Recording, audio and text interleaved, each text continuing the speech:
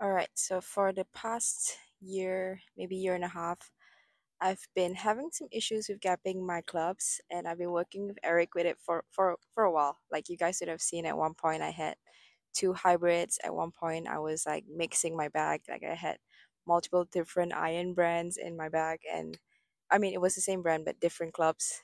Well, maybe I never showed you guys that, then you wouldn't have known that. But if you had played with me, you have seen that I was playing like a mixed bag. And one of the reasons why was because I couldn't get the irons to fly the distances that I wanted them to. So I think we finally fixed it. Um, Eric and I came up with a solution. So t- today I'm going to show you guys what is in my bag and what I've done to kind of fill those gaps. And just a disclaimer right now, I have 15 clubs in my bag. Um, I do have a way to kind of combat that, and I know how I'm going to have 14 clubs in my bag for when I'm playing tournaments. But for right now, I have 15 clubs, and I will tell you later how I'm going to get myself to have 14 clubs in my bag when I'm playing tournaments.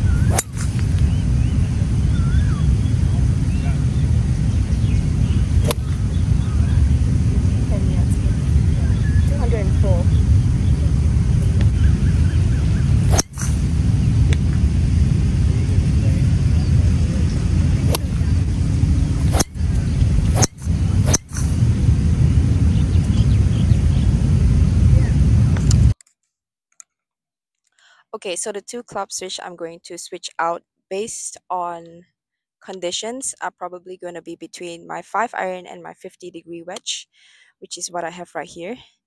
And the reason why is so the 5 iron comes out a little bit hotter. It's a little bit of a lower trajectory shot. And one of the reasons why we wanted that is because when I play in windy conditions, for instance, like in Europe, it can be a good like um like a tee shot club. So if it's like a narrow fairway and I need to hit something shorter, I can hit something like the five iron. If it's into the wind, I can hit the five iron. It's gonna run out close to about 190, which is what we found. So I think that that would be a good tee shot club. And with regards to the wedge,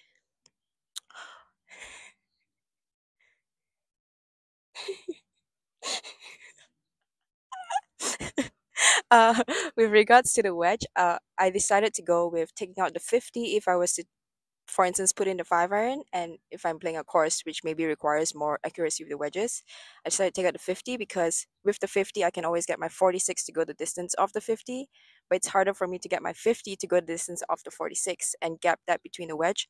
So it's much easier for me to have a longer club and make it shorter, if that makes sense. So yeah, that's pretty much what I have come up with in terms of my equipment for this year um, I'm, I'm excited to start competing again just to see how they perform. And like, I think one of the things that would be nice is to not have to worry about like, what am I going to do to be able to hit this distance because I don't have a club that goes that distance.